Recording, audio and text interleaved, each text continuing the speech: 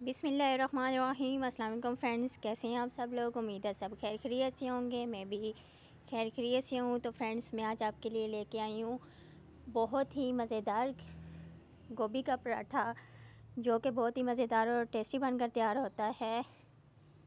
तो चलिए फ्रेंड्स, हम बग़ैर टाइम वेस्ट किए इसको बनाना स्टार्ट करते हैं। फ्रेंड्स, सबसे पहले मैं आपको बता दूँ कि हमने जो आटा लेना है, वो हमने फ्रिज का आटा लेना है, ताकि हमारा पराठा जो है वो अच्छे से खस्ता और मज़ेदार तैयार हो। तो चलिए फ्रेंड्स हम इसको बनाना स्टार्ट करते हैं।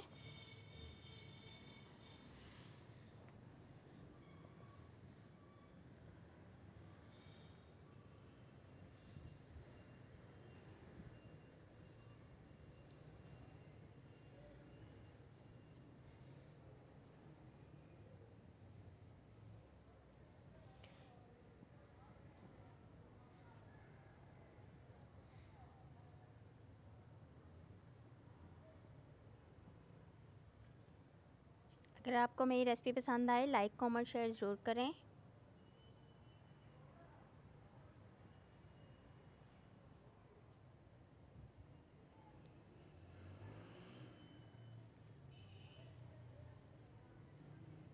और अगर आप मेरे चैनल पे नए हैं तो चैनल को सब्सक्राइब करें और बेल आइकन को लाजमी प्रेस करें, ताकि मेरी हर आने वाली वीडियो आप तक आसानी से पहुँच सके।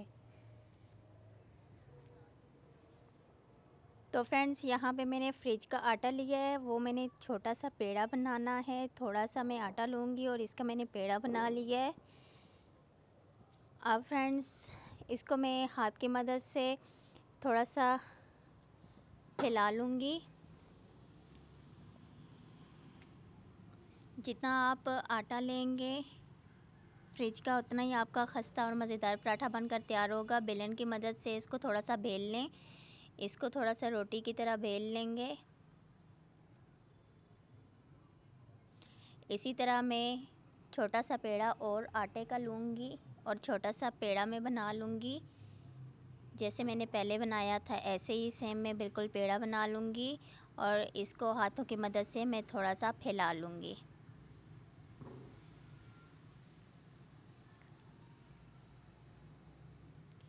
अभी इसको भी बेलन की मदद से हम थोड़ा सा फैला लेंगे, थोड़ी रोटी को हम बड़ा कर लेंगे।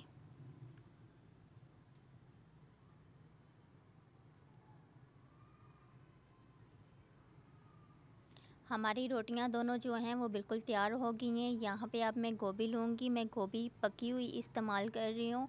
आपके घर में अक्सर गोभी पकी हुई बच जाती है तो आप उसको पराठों में इस्तेमाल कर सकते हैं। इसको मैं चम्मच की मदद से थोड़ा मैश कर लूँगी ताकि हमारा पराठा जो है वो फटे ना।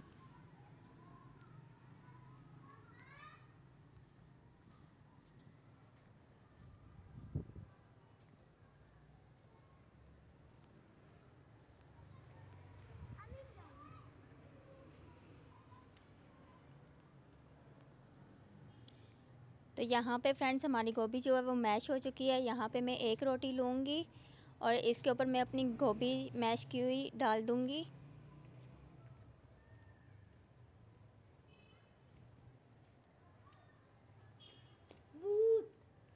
इसी तरह मैं अब चम्मच की मदद से इसको फैला लूँगी।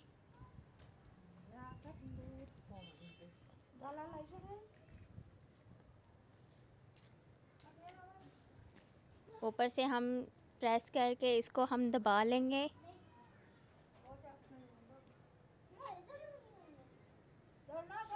थोड़ा सा खुश्क आटा हम इसके ऊपर डस्ट करेंगे।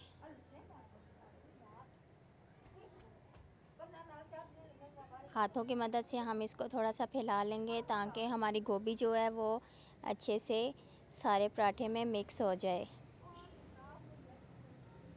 थोड़ा सा आटा हम खुश्क डस्ट करेंगे और इसको हम बेलन की मदद से बेल लेंगे।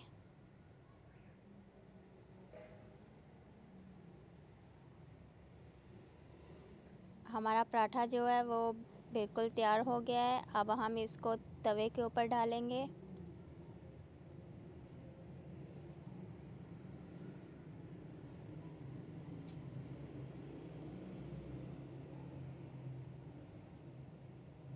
और इसको हम एक साइड से अच्छे से पका लेंगे। हमारा एक साइड से ये अच्छे से पराठा जो है वो पक चुका है, सेक चुका है। अब हम इसके ऊपर घी लगाएँगे। आप देसी घी भी लगा सकते हैं। घर का जो आपका यूज़ किया हुआ जो घी है, जो आप घर में पराठों के लिए यूज़ करते हैं, आप वो भी इसके ऊपर लगा सकते हैं। इसी तरह हम दूसरी साइड पे भी घी लगा लेंगे।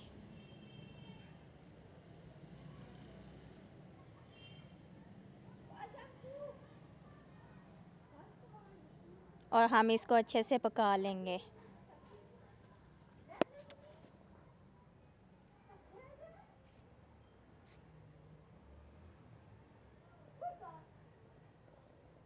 हमारा पराठा जो है वो बहुत ही मज़ेदार, दोनों साइड से पक के बहुत ही क्रंची किस्म का तैयार हो रहा है।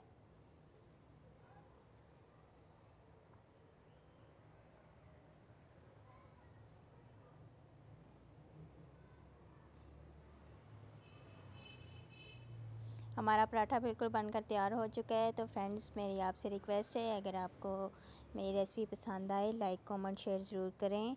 आप लोग भी ज़रूर ट्राई कीजिएगा। अगर आप मेरे चैनल पे नए हैं तो चैनल को सब्सक्राइब ज़रूर करें और बेल आइकन को लाजमी प्रेस करें ताकि मेरी हर आने वाली वीडियो आप तक आसानी से पहुँच सके। कमेंट में ज़रूर बताइएगा कि आपको मेरा पराठा कैसे लगा। दीजिए इजाज़त, खुदाफिज़।